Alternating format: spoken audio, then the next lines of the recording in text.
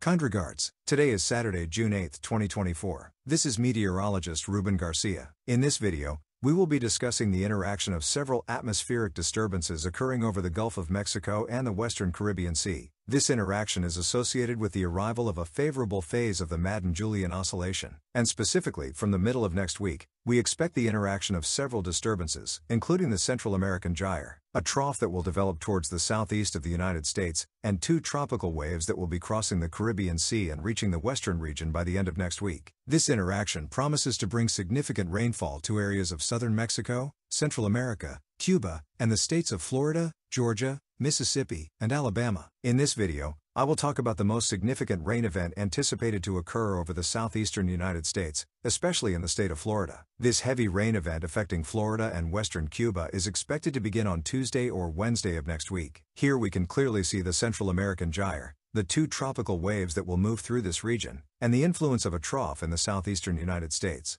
This will create a very humid airflow that will move from the Caribbean towards the northeastern Gulf of Mexico, where there will be a high risk of flooding for central and western Cuba and the state of Florida. Let's see how this interaction of these disturbances will occur during mid to late next week. Let's look at the GFS model projection. Between Tuesday and Wednesday, you can see that these disturbances converge and create a humid flow from the Caribbean moving over western Cuba and reaching the northeastern Gulf of Mexico and the state of Florida. Also, you can see that the GFS model is developing a low pressure system between Thursday and Friday of next week, which could have some probability of developing into a subtropical or tropical cyclone. However, regardless of whether it becomes a tropical or subtropical depression, we are concerned about the moisture flow that will move from the Caribbean over the southeastern United States and western Cuba, as this could cause a significant flooding event that could also affect Georgia, Mississippi, and Alabama. This low pressure seems likely to remain over the region at least until the next weekend.